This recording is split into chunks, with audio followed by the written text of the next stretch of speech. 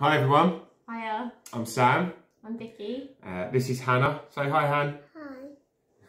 Hi. Uh, we have two other daughters, Emily and Alice, uh, and we've been members of CBC for 10 years now. This is, uh, this time tomorrow, take 157. uh, so what will you be doing this time tomorrow? Me and Hannah will have just dropped Emily and Alice at school for the first time since before Christmas, so that's a big deal for us. Um, and we'll be coming home, and I'll be able to spend a bit of time with Hannah, just the two of us.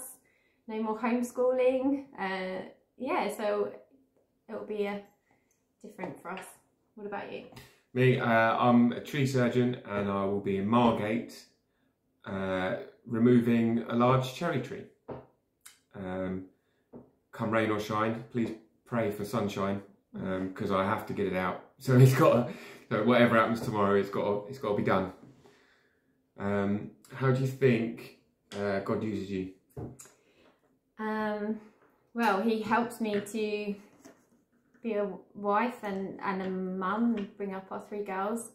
Uh, and in my role at the church, uh, how to serve um, with helping with the finances and the community hub uh, and coordinating deliveries and, and all the, you know, the different people that you come into contact with there. And I think this last year, it's been my first year back at work, having been a stay at home mum. So uh, I wasn't expecting how it's been, but um, learning to juggle work and home has been quite a challenge. And um, I think God's shown me a lot about the importance of, of knowing what my boundaries are and um, just relying more on Him.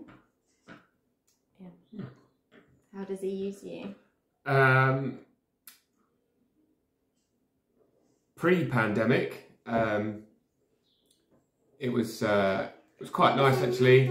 Um, got to talk to a lot of people all the time, every day.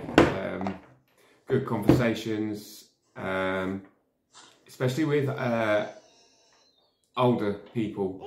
Um, they've always got something quite wise to say, um, which is which is always nice. Um, but since lockdown last year, it's been quite difficult, really, um, to have any interaction with anyone because uh, it's all been on the phone, or when I go to people's houses, um, they just mime at me through the window. Um, so it's been a bit weird, but I guess just do a always try really hard to do a good job. Um, always try to work really hard, I guess, and I guess that's how God uses me at work and at home. Um, just to be a good dad and a good husband. Um, to let my girls know that I, um, I love them and um, I'm always there for them, I guess. How about you? Yeah, already answered yeah, you already answered that. Yeah. Um, words of encouragement. Um, I guess that's a, that's a tough one, isn't it, for everyone, considering the year we've just had. But I guess now um, everyone's getting vaccinated. We have a we have a date to look forward to, don't we? Um, and at the same time, uh, the weather's getting nice, and we will we will soon be back together at CBC, um, worshiping God and being a family, uh, a church family, which I do miss. I have missed that massively. Um, and to shake someone's hand or to give, give, you know, give each other a hug, it'll be great. And that is coming. Yeah. Fingers crossed. Yeah. um, yeah, okay. I think my encouragement would be for mums, as I am one.